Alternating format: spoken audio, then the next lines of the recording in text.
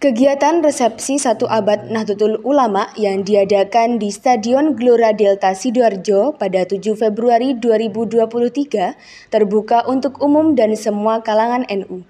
Masyarakat Nahdiyin sangat antusias dan mengakui sangat bahagia dengan adanya agenda acara tersebut.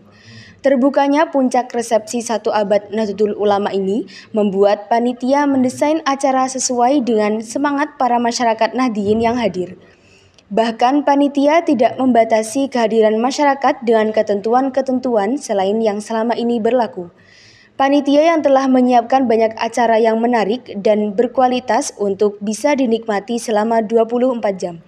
Peserta resepsi satu abad Nahdlatul Ulama mencapai lebih dari satu juta peserta. Dengan banyaknya peserta resepsi, panitia menyiapkan 80 layar LED di sekitar Gelora Delta.